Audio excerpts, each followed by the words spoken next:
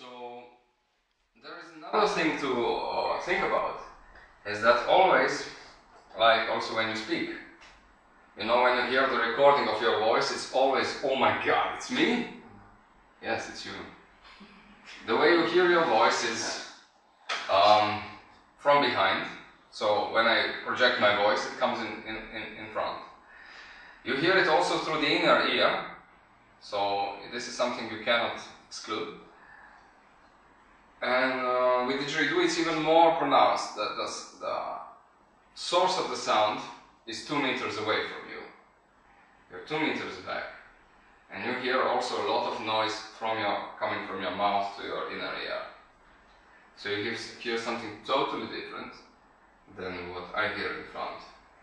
And uh, for me, then, what I think most about sound of the didge is when I lift the didge off the floor, there is no reflective surface around me, and I put the didge very close to my ear.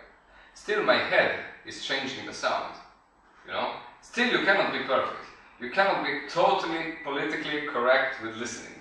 The observer always changes the reality.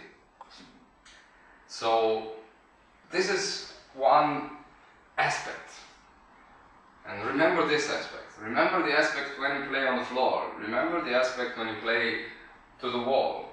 But always know that when you put something in front, it will change the sound. Even a microphone that is quite small will change it a little bit. The problem why we cannot hear sound well with a microphone is because microphone acts in a certain way and it changes something that is the domain of air, in the realm of air, to electricity. And it becomes a different world. And then it comes back to air in, in loud speaker. So I would I like to keep the world mysterious, you know. And I feel didgeridoo playing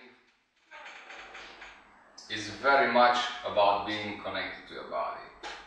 I think the more you are in the the less there is from instrument, the more you need to give from the body. Like with singing also. Where does it come from? You know, you cannot blame the guitar. There is only the body. In didgeridoo playing, there is not a lot of the instrument. So there must be a lot in the body. In piano, there is already much more of the instrument. In guitar, much more of the instrument.